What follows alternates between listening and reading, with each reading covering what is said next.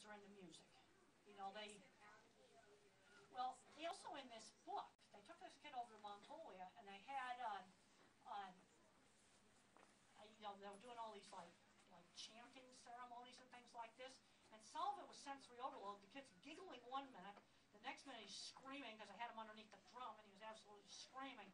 But there was a lot of good things that kind of rhythmic, um, chanting kind of music was was doing. Let's just take regular therapeutic riding. I've had a number of parents tell me the kid ta- started talking on a horse. All right, let's look at, at, at simple things that we can do. What's in the riding that makes that effective? It's a rhythmic activity. Okay, let's say we're in a situation where we can't get access to the horse. You could do swinging on a swing, do the same thing. Also, balancing activities. Balancing activities have a real stabilizing effect on the nervous system. Plus, you have the relationship with the horse. It's just, a, you know, I, I'm only like one third of the way through this book, but it's, um, I'm not, I, obviously most people can't take their kid to Mongolia. But, uh, and I haven't gotten to the end of it yet, so I don't know what happened. Right now, he's six years old, he's not potty trained. Uh, yeah, that would be a mess in Mongolia. Uh, I'm gonna be, uh, in the next week, I'll get it all read.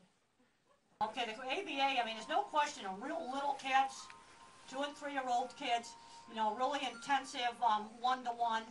That um, that really, um, you know, it really helps. 20 hours a week, 30 hours a week, you know, sort of ABA type of things um, really helps. Now, the sensory issues, um, I think sometimes I think the diets have helped on that. Um, you know, there needs to be a lot more research on sensory. In the last few years, just a couple of years or so, you go to the PubMed database, P-U-B-M-E-D. That gets you into the National Library of Medicine. Just search that on the internet. P-U-B-M-E-D. It's an abbreviation for public medicine. And, and uh, we need to be working on treatments and things for that. Because sensory problems are extremely debilitating. I think they're one of the major issues in autism. How can you be social if you can't stand to shop, you can't stand to go to a restaurant, you can't stand the noise at a sporting event? You simply can't.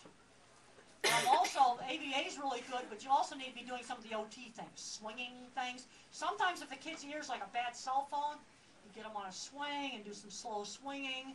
Also try singing. Some of these kids learn to sing before they can speak. Uh, work, do a little ABA while he's sitting on an exercise ball, because that makes him have to balance. And sometimes when you have to constantly balance, that helps uh, helps the ear to be less of a bad cell phone.